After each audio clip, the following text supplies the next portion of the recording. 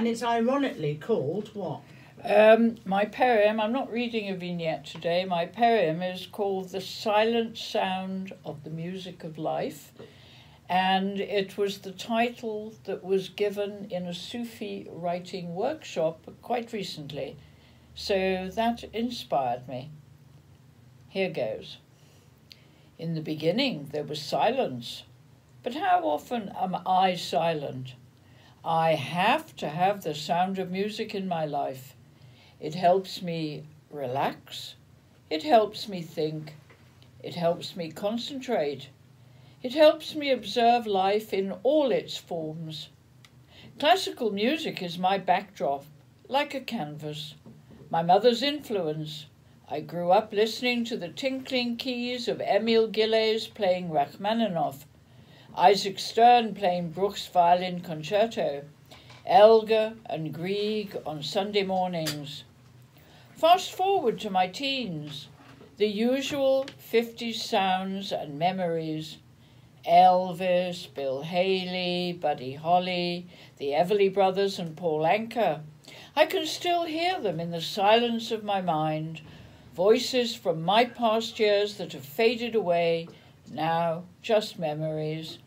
And the 50s crooners, the father of them all, Frank Sinatra. Easy listening, it is called today, or the American Songbook.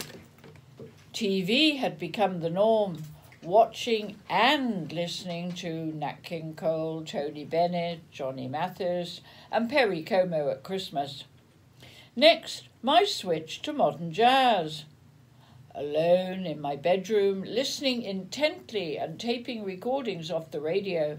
Beginning with Brubeck's Take Five, I became more knowledgeable. Monk, Bill Evans, Mulligan, and my favourite, Chet Baker.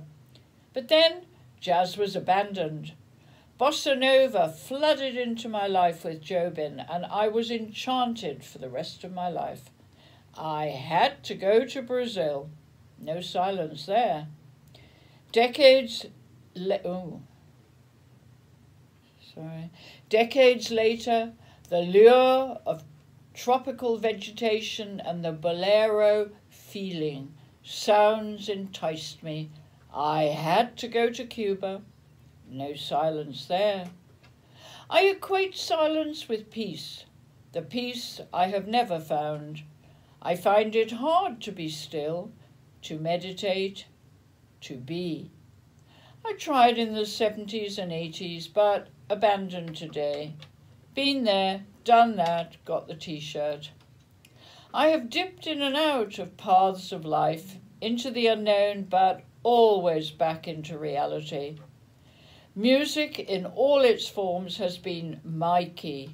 I have never thrown the key away uh, to the mystery of the music.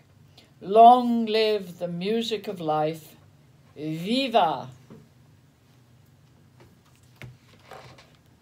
That's it.